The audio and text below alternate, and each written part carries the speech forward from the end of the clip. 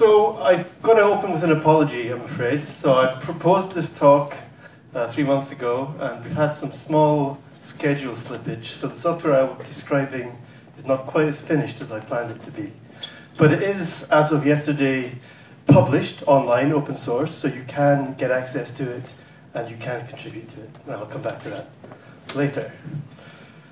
Um, right, so my name is Ross Duncan, and I'm the head of quantum software at Quantinuum. So Quantinuum is, I believe, the largest uh, quantum computing company. There's about 500 people in the company. Uh, we're split between US, mostly in Colorado, three sites in the UK, an office here in Munich, though unfortunately our local representative is ill this week, so he's not here today and an office in, in Tokyo. So the company is actually formed as a merger between Cambridge Quantum, where I used to work, and a unit of Honeywell, which is spun off and form this company. So Cambridge Quantum uh, makes quantum software, mostly applications and developer tools. Honeywell Quantum Solutions makes trapped ion quantum computers. So between the two halves, we've got kind of the whole stack, and this nice uh, division of responsibilities. Although the boundary is actually a bit more fractal that diagram might suggest. Um, we are quite a research-heavy company, as most quantum startups are, and we do a lot of research in applications of quantum computers. So in my office in Cambridge, we have a team which works on quantum algorithms for Monte Carlo integration and topological data analysis. We have some other people who work on machine learning and optimization. We have a bunch of other people who work on quantum simulations. And I just want to pull out a couple of highlights from our recent papers to mention before I get to the meat of my talk. So here is one from earlier this year. Um, the new H2 machine, the Munich team was able to demonstrate the first uh, non-abelian topological order in a quantum system. So it's uh, using a D4 anyons, and they did actually manage to braid the anyons in the system. More recently, uh, some of the Cambridge team and the team in Japan have been doing um, chemistry simulations, which you might think this is a very old topic because people have been calculating the ground state of hydrogen for five years already. But this time they did it with quantum phase estimation, which is an algorithm that most people believe can't be done on NISQ machines. And they've used a quantum error detection code to do this. So it's still a small calculation, but it's something that we probably couldn't have done in the recent past. And on the subject of firsts.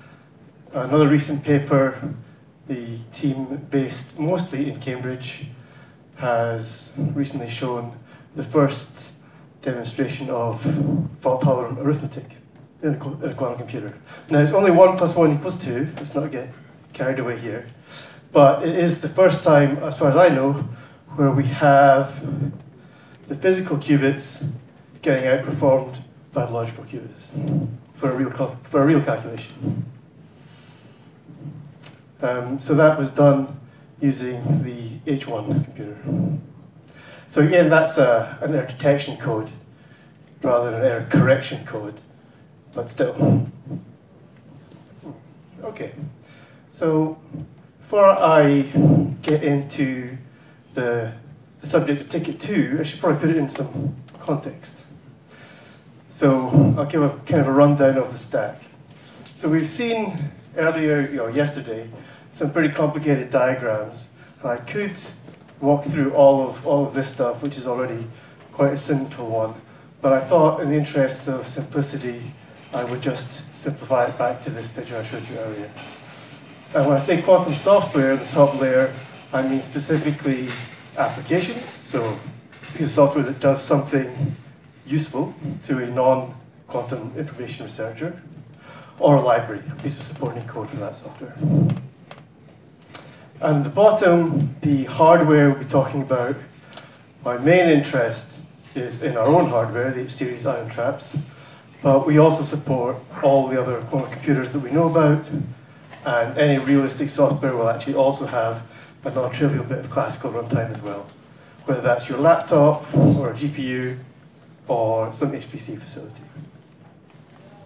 And then the glue between these things is, of course, the compiler, which is called TKET, in case wondering. So I'll do a quick run through of what this looks like. So the main application software we make in Quantinuum is this package InQuanto, which does computational chemistry. And the reason why we're doing computational chemistry is we believe that this is uh, an area where quantum advantage is likely to come reasonably early in history. So the nice thing about quantum chemistry is the theory is completely understood. But the bad thing is that to actually compute anything, you're in this n factorial regime for the accurate version of the theory. So you basically can't afford to do any computation, apart from the absolute smallest molecules like hydrogen. And as you go to simpler theories, you can work with bigger systems, but your accuracy goes down. And the belief is that this red target is the area where near-term quantum computers will be able to reach. So much higher accuracy uh, in a reasonable amount of time. I won't go through all the steps of this because it's not that interesting unless you want to do some chemistry calculations. But I just want to point out a number of layers here. And, and as we go down the levels, we're kind of switching from an application-oriented view, which is say something which is about molecules or materials, into something which is of more um, mathematical, and then into whatever quantum algorithms, and then into actually running things in the quantum device. And so each time you take a step, you're getting a bit further away from the problem and a bit closer to the hardware. And so you've got to come down to the hardware, run something, then come all the way back up again. Okay, so that is the, um, the archetypal application for us. I'll speak briefly about TKET. So this is the compiler that we've made in Cambridge Quantum for the last six years. And it has historically supported a wide range of platforms, not just our own. It is open source, and you can get it from pip. So I encourage everyone to try it out. Um, I also encourage you, if you're going to try out and use it as a benchmark against your own work, please talk to us, because the, uh, it's not always obvious how to use it. And we've seen a lot of unreproducible papers coming out this way.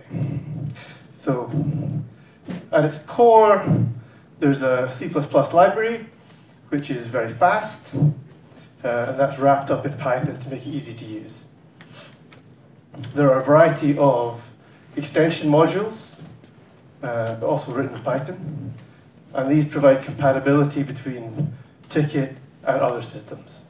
So, for example, if you want to use our hardware, you would download the additional pytket-quantinuum module, and that will give support for the H-series computers. And when I say support, I mean uh, custom compilation passes to generate circuits that are compatible with that hardware. If you want to use Qiskit, either as a front end to program in, or to target the IBM Q backends, you can use the pytket-qiskit um, extension. And so this actually functions as a, as a cross-compiler. So you can write your program in Cirq if you wanted to, and then have it run on H-series, or any other combination like that.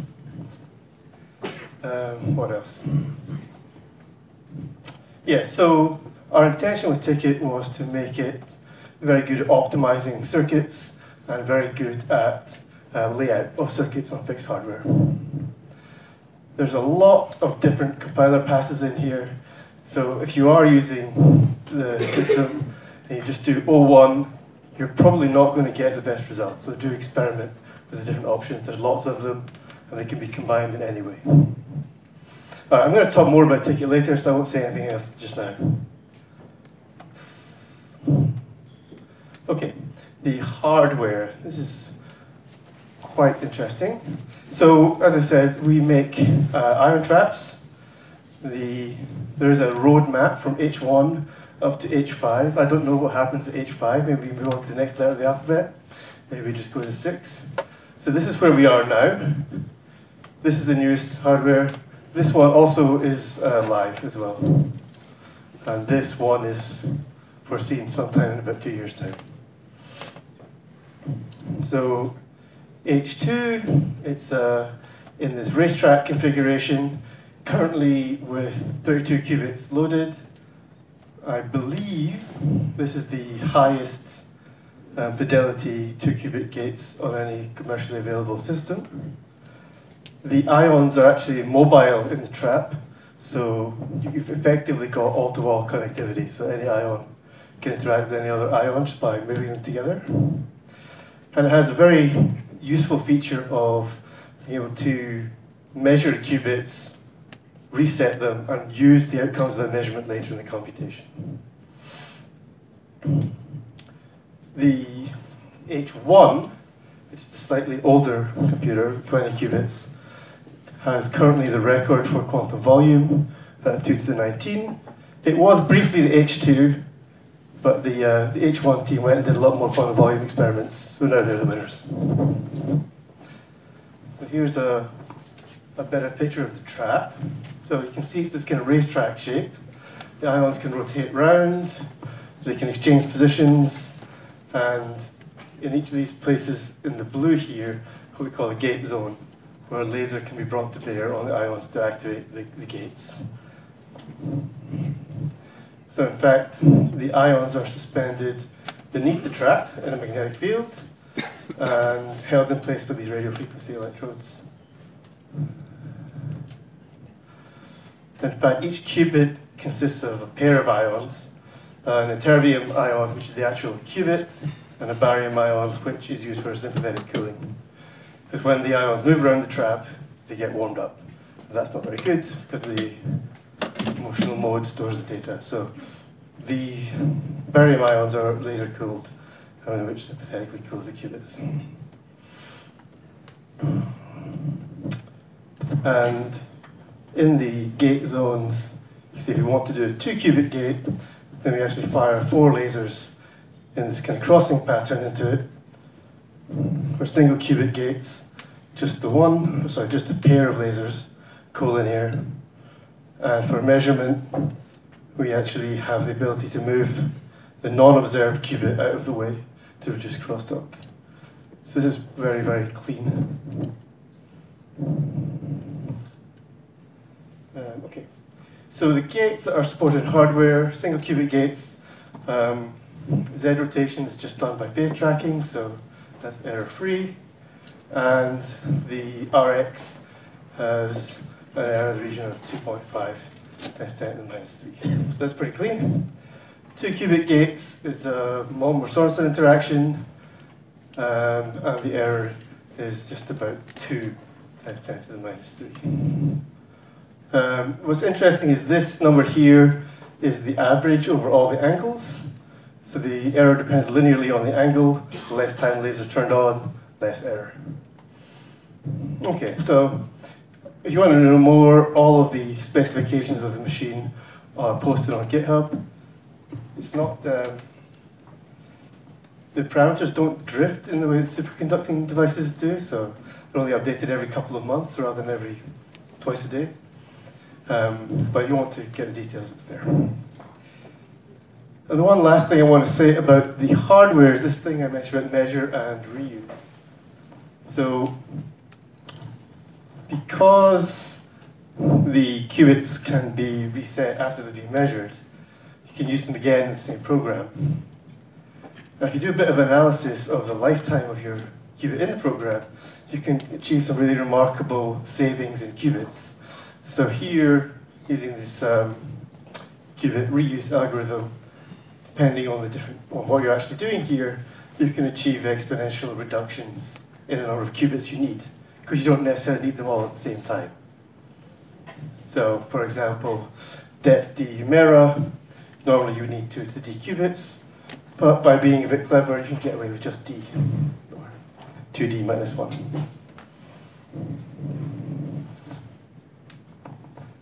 Um, okay. Right, so I said I was going to talk about post-NISQ compilers, so I thought I'd better say a few words about what NISQ is before we get into it. So as everyone here knows, the point of NISQ is intermediate scale. This is the definition introduced by Preskill. Um, Preskill says it's about 50 to 100 qubits, um, which is enough that it's difficult to simulate this, but it's not enough we can actually do error correction, so we're going to have to live with the noise. Now what's less obvious is if you have noise, you've already got a scale limitation. You can't have, you can't effectively use an unbounded number of qubits, even if you had them, because the noise will wash, wash out the data. The other thing, which is not obvious at first, is that if your system is noisy, it's actually easier to simulate than if it was um, noise-free.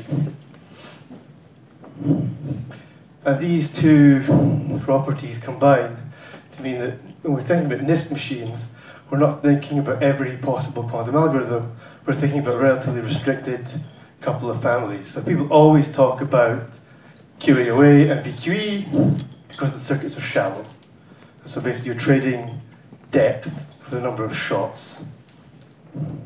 However, something like phase estimation, we typically don't associate with NISQ machines because the depth of the circuit is such that it'll be just noise by the end. Okay, so that's the kind of caricature of what NISQ is. This microphone is really annoying me. Um, okay, I'm going to.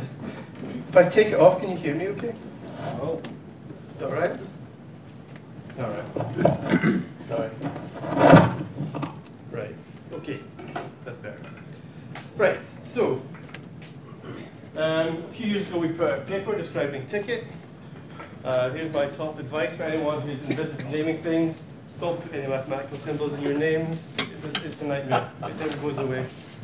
Anyway, we put out the paper and we called it NISQ Devices. So what was the actual application of that? So there's a few things which matter in that context. The first thing is that in every in every quantum device that I know about anyway, the two qubit gates are noisier than everything else, or noisier than the one qubit gates anyway. So the thing that we aim to optimize over is the number of two qubit gates, and in particular the depth of the circuit, because depth loosely correlates to time, which correlates to decoherence. So You want to minimize the amount of decoherence, you want to minimize the amount of noise. Um, if we're thinking about superconducting architectures where we've got a variance in the performance of the different components, then we also want to pick which ones we're using carefully to avoid unnecessary noise. Uh, so TKET had fairly early on a good method for avoiding the least performing elements in the superconducting architectures. Something else you can do in the noisy regime is you can approximate your gates, because if you know if your circuit's going to be deep, you can pick up X amount of noise, so you might actually do better by doing a shallower circuit, which isn't exactly what your programmer asked for, but it'll be closer to it than doing what you asked for. Um, because we're always thinking about variational algorithms, we have to deal with um, symbolic circuits, by which I mean circuits with parameters. So we do optimization across the parameters as well.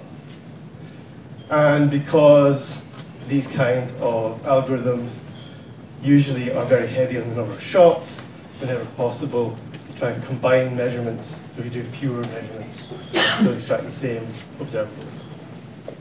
Yep. So these are the kind of things that you would care about in a NISQ device. And the other thing that you would do um, is error mitigation.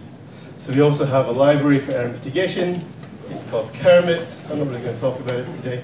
It's also open source. Go check it out. Um, the main concept here is that there's two kinds of mitigation. One where you modify the distribution of your results to achieve something closer to the ideal, and one where you modify the expectation of some observable.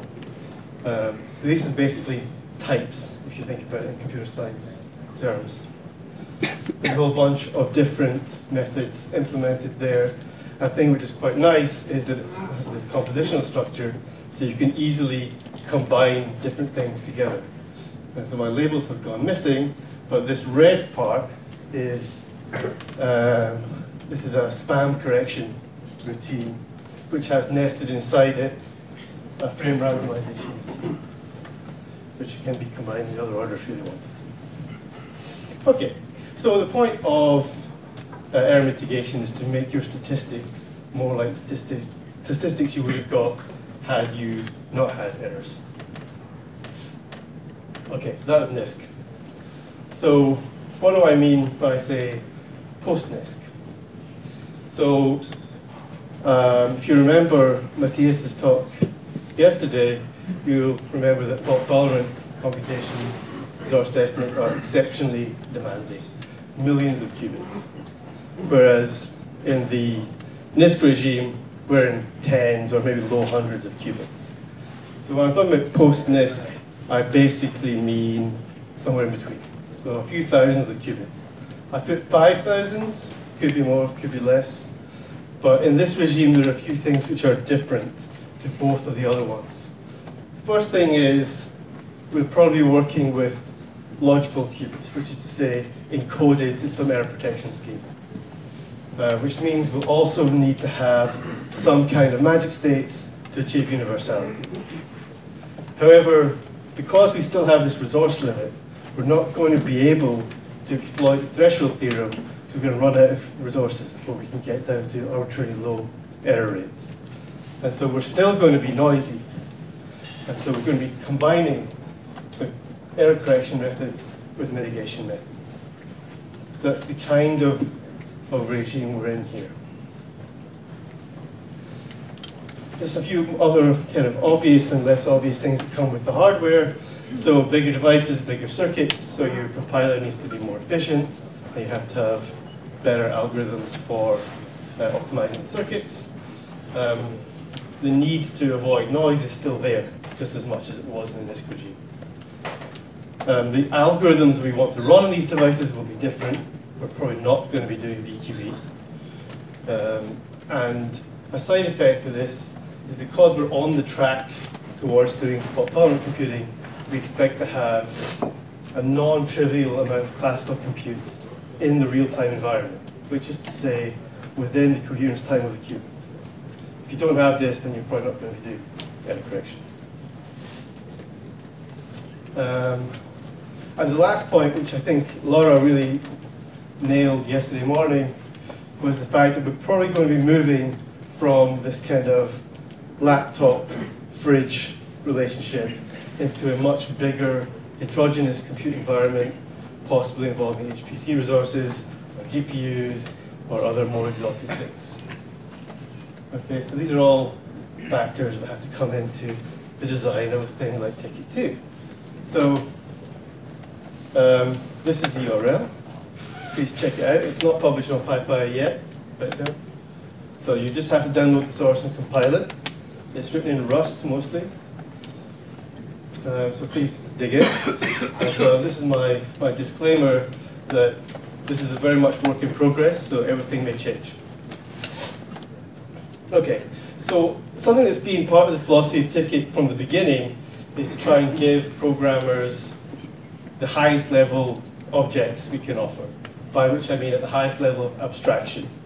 So you didn't, if you want to think about your algorithm in terms of exponentiated Pauli's, the compiler allows you to say that. It doesn't make you translate it into CNOTs. Because every time the programmer has to think at a lower level of abstraction, the compiler has to reverse that in order to do its optimization. Okay, so some things that we have um, in TKET already, I think all of these things are in already. Um, SU4 gate, arbitrary SU4 is a standard two qubit gate, and then we have the ability to rebase that to any other gate, or any other common gate anyway. If you want to use something which we don't know how to rebase, you can add the conversion yourself. Um, any kind of circuit can have any kind of arbitrary control attached to it. So whether it's turned on or off based on the value of some other qubits. Uh, we have uh, So the concept of box is like a higher level programming thing than a gate, usually a sub-circuit. So we have boxes which represent Pauli operators, we have this compute uncompute pattern, and multiplexers as well. I'm going to talk a little bit more about multiplexers um, because they're cool. So this is what I mean by a multiplexer. What you see is I've got two registers, one of which is just holding effectively an index, and one of which is the target. So this is a kind of generalization of controlled gate. And so the idea here is that for every possible value i in my control register, I've got a different unitary I'm going to apply on the target. And the notation looks something like this. So these half white, half black boxes are stand in for every possible value of 1 and 0. And you can see that sums up to be, when they're all zeros, to this one. When the first one is flipped, to this one, and so on. Okay, so a place where this rather, maybe this seems a bit weird, but a place where it comes up a lot is in linear combination of unitaries quantum signal processing, other related algorithms, which are the kind of thing we're going to want to be doing on uh, non-NISQI machines, because they're quite big circuits. So here's the, the usual pattern for linear combination of unitaries. There's some Hamiltonian, which is a sum of Paulis, and that Hamiltonian is a parameter of this select gadget in the middle. And it's this select gadget, when we unpack it, we see that it actually is one of these multiplexers. So I'm not going to go through the details of the algorithm we implemented because it's quite complicated, but basically this web of controls here can also be thought of as computing permutations over the bit strings. And so if you do a bit of, uh, a bit of cunning thinking about this, as our colleagues back at Cambridge did, you can come up with a method for doing this quite efficiently. So this is a big table of a variety of simulations which were done using the LCU algorithm.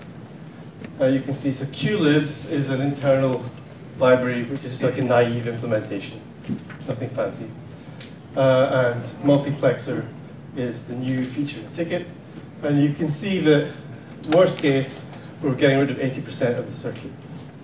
And best case, 97% of the circuit. Um, so this is against naive. We also compared against Tweedledum, and we can beat Tweedledum by up to 40% as well. So, not too shabby. And our colleagues uh, in the quantum machine learning uh, algorithm actually used this to um, demonstrate QSP on the ion trap hardware. Again, something that was not believed to be doable on a NISQ machine. But they did a, um, a time evolution of a, a simple Ising spin model using QSP. Um, okay. The other thing which we want to do with TKET 2, which is a little bit orthogonal to the, to the main topic here, is to make it easier for you to do experiments. Particularly for people who are writing error correction codes or decoders, but just general rewrites of circuits. So in the original TKET, I have to be honest, I think we made a mistake in philosophy. And we thought, we'll write the world's best compilation passes, and the users can just choose between them. Which nobody ever did any choosing, and it was too difficult for them to do their own thing. So that wasn't great. So the decision we've made now is to expose the underlying graph structure of the circuit in a kind of user-friendly way so that you can write your own rewrite patterns here. And the idea, or one of the ideas, the simplest idea, is that you just say a rewrite rule by saying, whenever I see this subgraph, replace it with this one. And then the, uh, I'll just show you the code, it's easier. So for example, here's a circuit. You can see it's got four qubits. We've got CX, CX, and another CX. That's the circuit I'm going to rewrite. Yes, one of the qubits is redundant, yeah. And my two rules, I have a left-hand side, L, which says if I do CX, and I do CX in the same qubits, that should be equal to the empty circuit.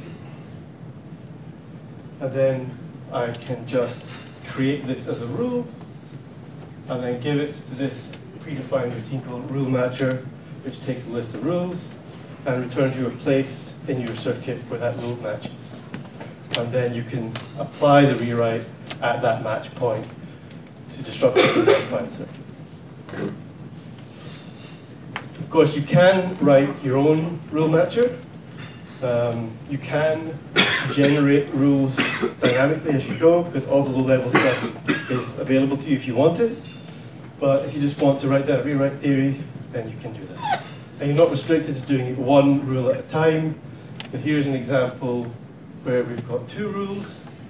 Uh, so this is h led then h gets replaced with x, very simple uh, equation. And h then h is equal to the empty circuit.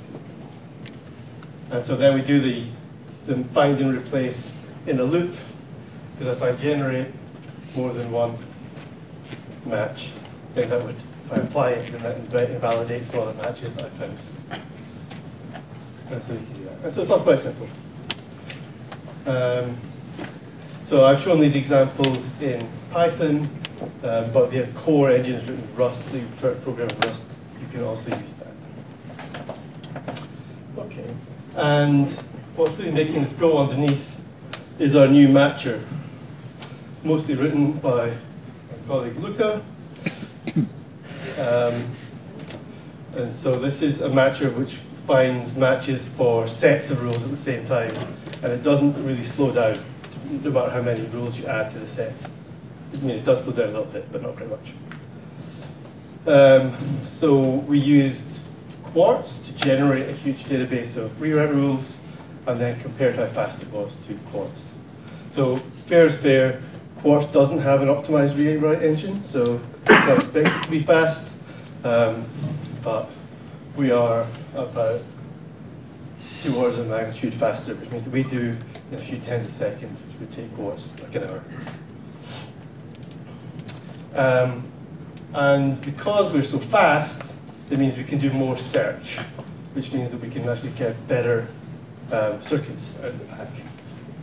So this is a few results. Is all very preliminary because we're just using the rewrite theory of Quartz rather than one that we've tuned ourselves.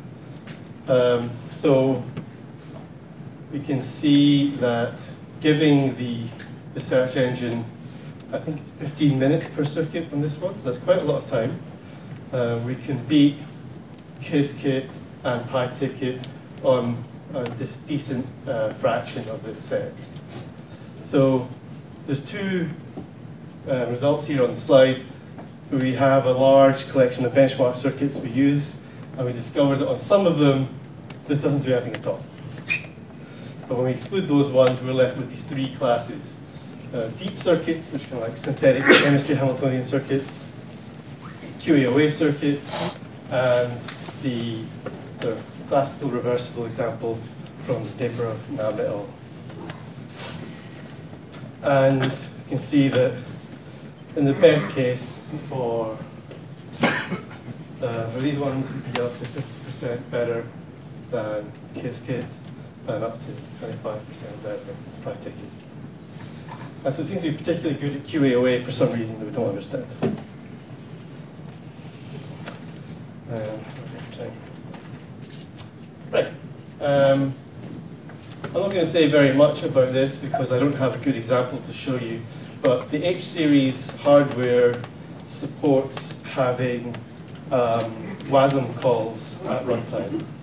So you can basically add an external function call to your circuit. Um, so you can write that in Rust, compile it to, or C or whatever, compile it to WASM and link it against your circuit, and that can be executed in quantum runtime. This is kind of basic at the moment, um, but there's going to be more classical control, more arithmetic this in the future. So if you wanted to write like a very simple lookup table-based decoder, that's very easy. If you want to do something more complicated, it should be possible, uh, but we might have to wait for the next upgrade to the hardware.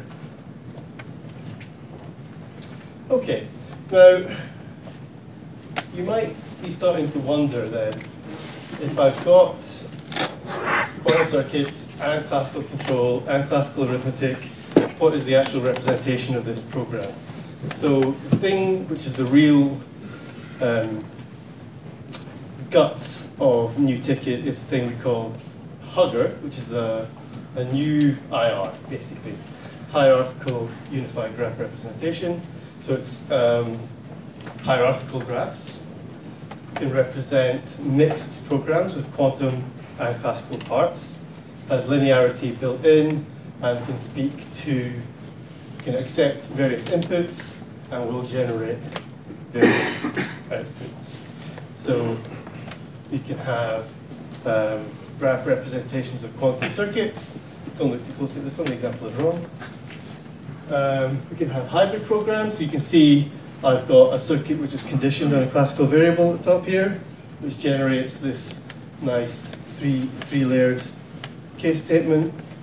And we can have programs where different parts of the program run in different environments.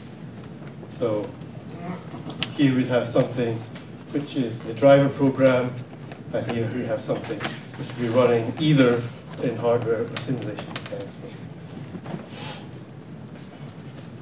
Um, I'm not going to go through this, it's probably not worth it, but here's an example of Q-sharp program to do repeat until success, and this is the HUGR that would be generated from that program. Okay, and the last thing I want to say about TKET, I think, is how are we going to connect everything else? So QAR Quantinuum has been a member of the QIR Alliance for quite a long time, and so we'll be supporting QIR as both output and input um, very soon. Um, and our intention is to wrap the, the new representation in an MLIR dialect so we can integrate other compilation tools as well. And so in these mixed programs, there will be some code which isn't running in a quantum real-time environment, that can be lowered to LLVM and compiled natively. Okay. Right, I'll just say a little bit more on the topics. So I mentioned earlier that the, the quantum computer's own runtime is not the whole story. Right? Every, every program also has a classical bit running a normal computer. And the way that we like to think about that is a system called Tierkreis. This was pre presented at the Supercomputing Conference um, last year. And so what, what are we doing here? We're trying to bring together all the different parts. So we have compilation, we have pre-processing of data, we have post-processing of data, we might have an optimization loop where we're going to go back to the quantum computer. So this whole program is quite, quite slow, especially if you've got a long queue in front of your quantum computer. So you want to have something which can, can process distributed software and asynchronous. And that's the point of, of Tierkreis. So it's, uh, it's data flow language, or sorry, data flow representation of mixed quantum classical programs. It's designed to be evaluated asynchronously, so it's driven, each node fires when its inputs are ready. And the idea here is that each node can, in principle, live on a different host.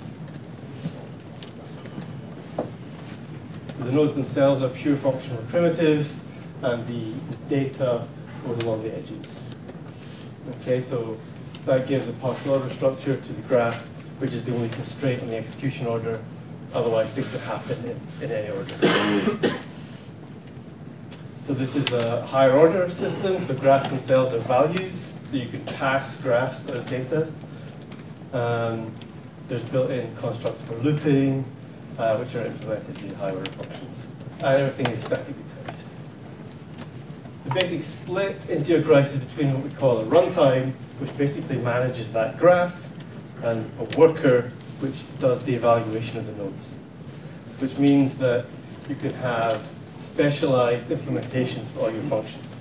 In particular, if you don't trust me, you want to run your program on my computer, you can run the untrustable bit on your computer, and everything else can live somewhere else. And it also means that workers are basically an interface, so you can just wrap any existing code you have and deploy it relatively easily. Um, okay. So here is an example how this might go. I've got my, my client sitting with a, a laptop computer which will transmit to this runtime the program that they want to run. So there'll be a built-in worker to do all the basic system functions, but there might be a remote worker providing something else. And I would expect there's a, at least one remote worker, which is a quantum computer to the quantum part of it. But this could be wrapped up to something more complicated. So we could have uh, some runtime living in the HPC, which has access to various quantum computers, possibly mediated by some other runtimes. So it's quite flexible. So that's how we envisage deploying this software. How are we going to write it?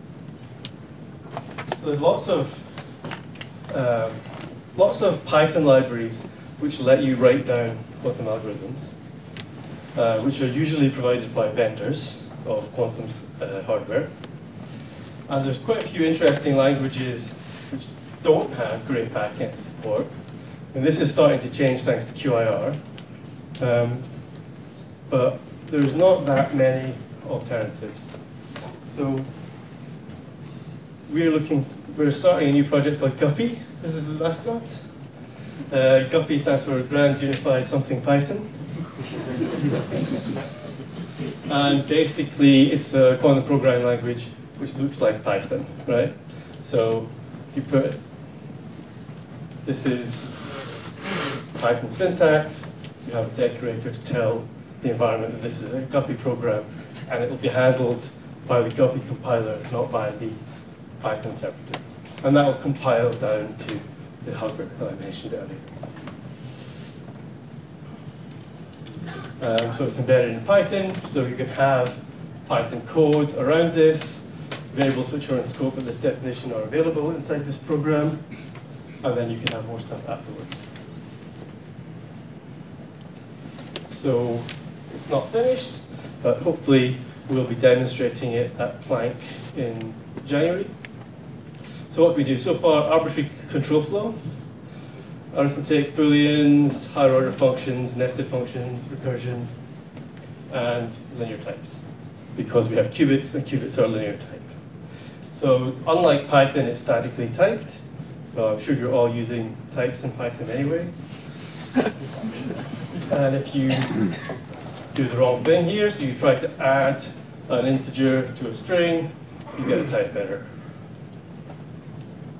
Um, types are linear, so qubits are linear, so you can't uh, use the same qubit twice, like in this CNOT here.